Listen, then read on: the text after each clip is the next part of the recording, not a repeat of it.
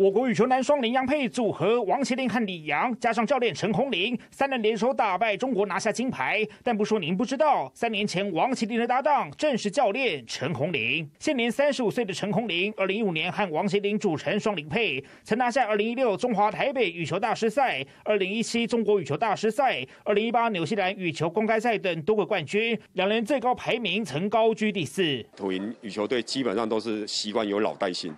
哦，比如说像陈龙林教练，其实是我那时候当选手的时候是带过他，所以我们基本上都有一些传承，会考虑到说下一阶段的布局。那这时候我们就去啊，就是帮王麒麟找人选，国内的最佳人选。那我们第一顺位就是李阳。二零一八年，陈红林卸下选手身份，王麒麟改和转到土营打球的李阳搭档。林阳配最高排名世界第三，拿下二零一九西班牙羽球大师赛、印度羽球公开赛冠军。这回冬奥，陈红林老带少，成功和林洋配一起拿下冬奥男双金牌。土营总教练李松远不会演，陈红林是夺金的关键因素。陈红林是一个。关最关键的人物，甚至会把他们的整个心理的信心跟依赖度，其实是非常的依赖。前两场的表现就没有那么到位，呃，甚至有点失常。